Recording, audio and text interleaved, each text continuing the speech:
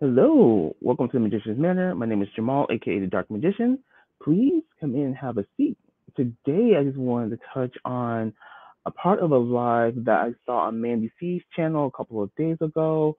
It was a very long live, about six ish hours, I believe, and they discussed a lot of topics. And one of the topics they discussed was something that was going on in the old Michael Long community.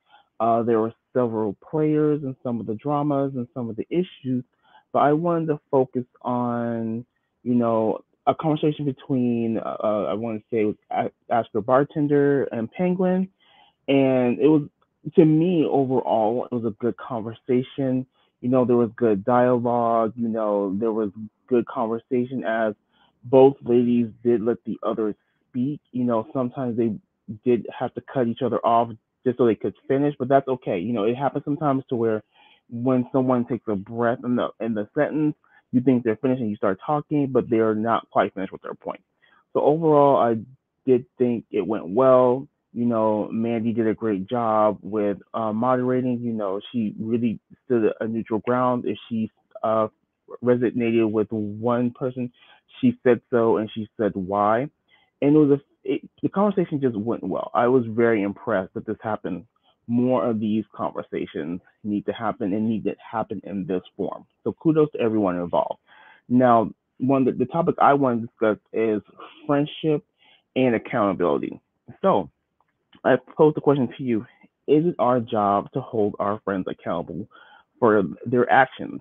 especially actions they you may not have known about or been around about before. So there's there seem to have been some issues where Your Bartender's friends were having conflict with Penguin, and Your Bartender's point was, well, yes, they're my friends, but I was not around for these issues. So this seemed to be the main bone of contention. So it was a lot back and forth. Penguin was like, well, these are your friends. And Your Bartender says, well, yes, they're my friends, but how can I be held accountable for their actions when I wasn't around? And Mandi C ag- agreed because you can't police your friends, you know, and their actions, especially if you weren't there. Now, if you're around, I think it's a little bit of a different story, but AYB did say, she's like, you know, I don't agree with everything my friends do or say. That's just not the case. But you don't know the conversations that we have behind the scenes. You don't know what I tell them. And I can agree with that. You know, there have been times here and there when like I see some of my friends do things I don't really agree with, or they may say something I don't agree with. Now, as my friend, I do not break them out in public because I think that's that's wrong. If you're a real friend, you take them aside. You're like, hey, I saw this happen, or I heard this can you explain it to me? And then I feel you have the conversation with them and let them know how you feel and then go from there. There have been times where they've explained the situation. I'll be like, mm, no, I still disagree. Or there'll be times where their explanation with giving context will make me feel like, oh, okay, I see why. Now, I will say this it is never a good time to go real life. You should never go real life on people. Everything should be, you know, any issue should be kept to YouTube because that's the platform we're on. There is no reason to go out and like, you know, really call law enforcement or CPS unless you actually see with your own eyes that there's um, an issue at hand. You know, if you don't see it, don't speak on it because what you do, if it turns out to be a false call, you've taken away resources from people who can actually need it. So that being said, I'm going to go back to the conversation. So you know, I agree with Ask the Bartender. Like you know, you don't know what you, people would say behind the scenes, but Penguin did make a good point um, when she brought up, you know, when you're on panels with people. So here's a tricky thing with panels, whether it be your own or someone else's. So I'll take the first scenario as being on your own panel. Like you know, if you do an open panel, drop the link, you know, you guys are talking, it can go left in so many ways because the conversation can go so many ways because most panels I've seen that are open are generally just open for any kind of dialogue, any kind of conversation. So, you know, you never know what someone's going to get up there and say. And it's like, oh no, I mean, I've seen quite a few open panels go right, left, and sideways, and it's not a good look always. And as a channel owner, while you may not agree with what's being said, people will hold you accountable because it's your, you know, it's your channel. And this is why I think it's a great thing that a lot of channel, you know, owners slash creators are scrolling like, you know, all you know, the opinions of others may not reflect my own. And I think that's a good thing to say, you know, because if you don't and you keep having panel after panel after panel of something um, being said that may offend a group of people, you'll spend the bulk of your time apologizing at the end of your video. So I think that's a good thing to have that scrolling.